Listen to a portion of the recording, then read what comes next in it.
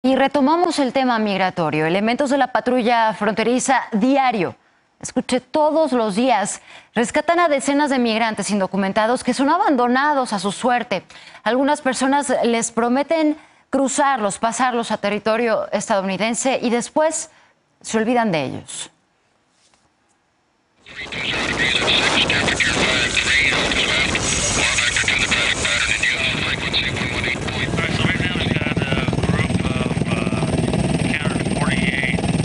...10.45 tiempo de México, sobrevolamos a 1500 pies sobre los límites fronterizos de Estados Unidos y México, aquí, en Penitas, Texas, población rural en medio de McAllen y Laredo.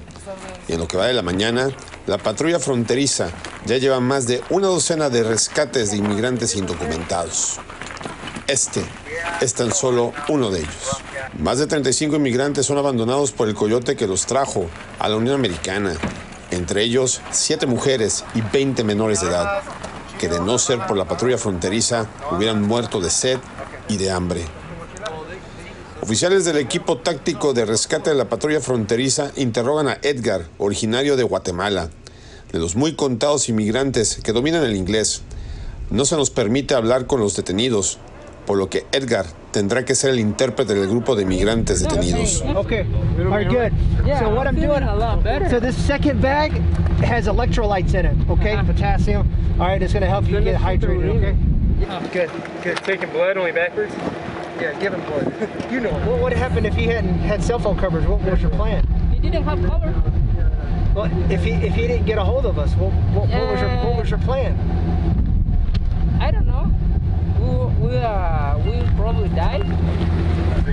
The guy that left you, he was the he was the guide. He he knew where to go. Yeah, probably. He said that he was going to get water, but he never came back. And what time was that? Like three hours. Three hours. Three hours. Okay. Yeah. So like late morning, he left you guys at late morning, and he never came back. Yeah, he left. He left us. Hora y media después, a 35 kilómetros de aquí, cruza así el río Bravo otro grupo de migrantes indocumentados en una balsa inflable que apenas los aguanta. Entre ellos, cinco menores de edad y tres bebés. Una crisis humanitaria catalizada por una migración sin precedentes, inspirada por un trato humano que no se ha visto en esta frontera en los últimos cuatro años. Este es apenas un día de lo que han sido ya tres semanas de constantes cruces y rescates bajo nuevas órdenes de cuidar los derechos humanos al enforzar las leyes migratorias de los Estados Unidos y los inmigrantes indocumentados que buscan escaparse de la miseria de sus países de origen y encontrar paz y oportunidades de trabajo de este lado de la frontera. Our officers, our agents are vigilant in performing their border security duties throughout the country. So they bring that skill set into this uh, into this environment, and that is what security is is based on, uh, on vigilance.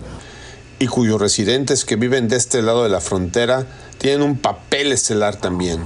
Es importante que estos chicos sepan que no están solos y que los estamos esperando con los brazos abiertos, que ellos no son culpables de las circunstancias en que se encuentran y que les queremos dar amor, calor y bienvenida. Y Marina, siempre estamos colectando tropa para los niños.